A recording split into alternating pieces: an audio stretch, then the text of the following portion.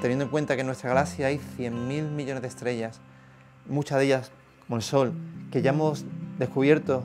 eh, más de 800 planetas extrasolares, algunos de ellos cada vez más parecidos en cuanto a tamaño a la Tierra, algunos de ellos también en lo que llamamos la, zona habitable, donde se darían las condiciones adecuadas para que el, agua coexistiera en las tres fases, sólida, líquida, gaseosa, que sabemos que es un ingrediente fundamental para la vida tal como la conocemos hoy en día,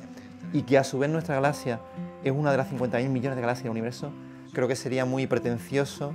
el pensar que la vida es algo que ha ocurrido solamente en nuestro planeta. El Grupo de Investigación de Astrofísica de Altas Energías y Astrofísica Robótica, ARAE, que yo lidero en el Instituto de Astrofísica Andalucía, eh, está embarcado en la implantación de una red de telescopios robóticos en todo el planeta Tierra, de los cuales aquí tenemos el prototipo.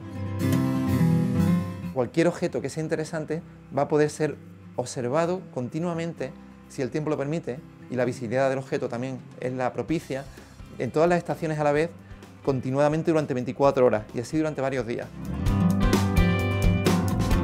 Uno de los descubrimientos eh, más importantes que hemos hecho y que mi grupo de investigación eh, ha hecho, un punto en el universo en el cual se estaba produciendo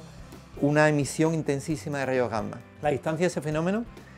eh, era de algo así como unos 11.000 millones de años luz. Y gracias a este telescopio pudimos alertar también a, la comunidad internacional y decir, se está produciendo este fenómeno prácticamente en los confines del universo.